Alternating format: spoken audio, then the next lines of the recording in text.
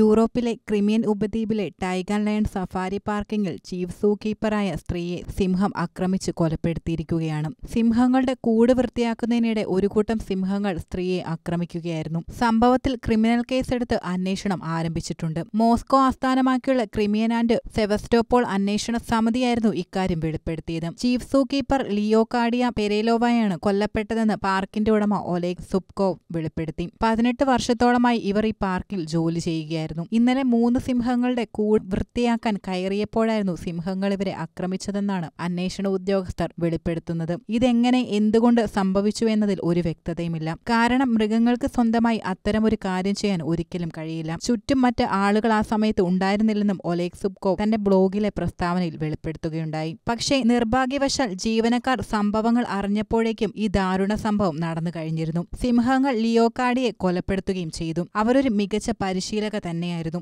എന്നാൽ തെറ്റുകൾ ഒരിക്കലും അവർ ക്ഷമിച്ചിരുന്നില്ല അദ്ദേഹം വെളിപ്പെടുത്തുകയുണ്ടായി അതേസമയം ജോലിസ്ഥലത്തെ അശ്രദ്ധ മൂലം ഒരാൾ മരിച്ച സംഭവത്തിൽ ക്രിമിനൽ കേസ് എടുത്തതായി അന്വേഷണ ഉദ്യോഗസ്ഥരും തുറന്നു പറഞ്ഞു ഈ പാർക്കിന്റെ വിസ്തൃതി എന്നത് എഴുപത് ഏക്കറാണ് രണ്ടായിരത്തി പന്ത്രണ്ടിലായിരുന്നു ഇത് സന്ദർശകർക്കായി തുറന്നുകൊടുത്തത് എൺപത് സിംഹങ്ങളും അൻപതോളം കടുവകളുമാണ് ഈ പാർക്കിൽ ഉൾപ്പെട്ടിട്ടുള്ളത് എന്നാൽ രണ്ടായിരത്തി പത്തൊമ്പത് ഡിസംബറിൽ ഉടമയായ സുബ്കോവ് മൃഗങ്ങൾക്ക് തീറ്റ നൽകിയെന്ന് ആരോപിച്ച് റഷ്യൻ അധികൃതർ മൃഗശാല ഒരു മാസത്തേക്ക് അടച്ചിടുകയുണ്ടായി ഇതേ തുടർന്ന് അധികാരികൾ തന്റെ ബിസിനസ് തകർക്കാൻ ശ്രമിക്കുകയാണെന്നും പദ്ധതികൾ മനഃപൂർവ്വം മരവിപ്പിക്കുകയാണെന്ന് ആരോപിച്ച് അദ്ദേഹം രംഗത്തെത്തുകയും ചെയ്തിരുന്നു